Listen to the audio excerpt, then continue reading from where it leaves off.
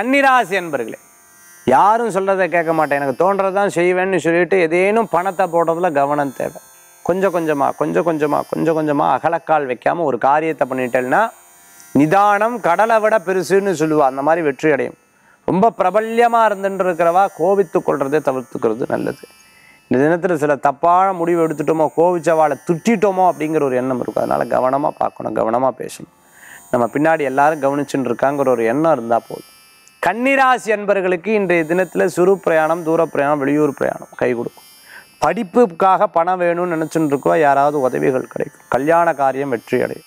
கன்னிராசி அன்பர்களுக்கு புதுசான விஷயங்களை கற்றுக்கொள்ளணும் அதன் மூலமாக வெற்றி அடையணுங்கிற ஆசை உங்களுக்கு கைகூடி வரும். அதிர்ஷ்டம் தரக்கூடிய அற்புதமான எண். ஆறு நிறம் வெண்மை வழிபாட்டுக்குண்டான தெய்வம். குலதெய்வ வழிபாடு. அமோக பலன்களை தரும் வழிபாடு.